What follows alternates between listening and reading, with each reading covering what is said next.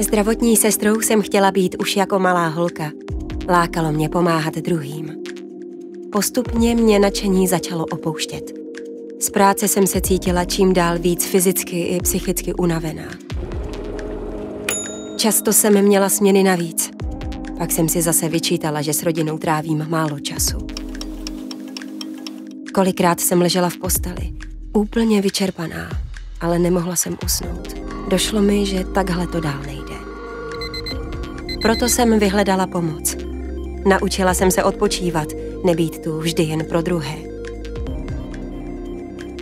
Cítím se teď mnohem lépe. Práce mi zase dělá radost. I doma máme větší pohodu. Nepodceňujte péči o duševní zdraví. Nestyďte se o problémech s někým mluvit nebo vyhledat odbornou pomoc.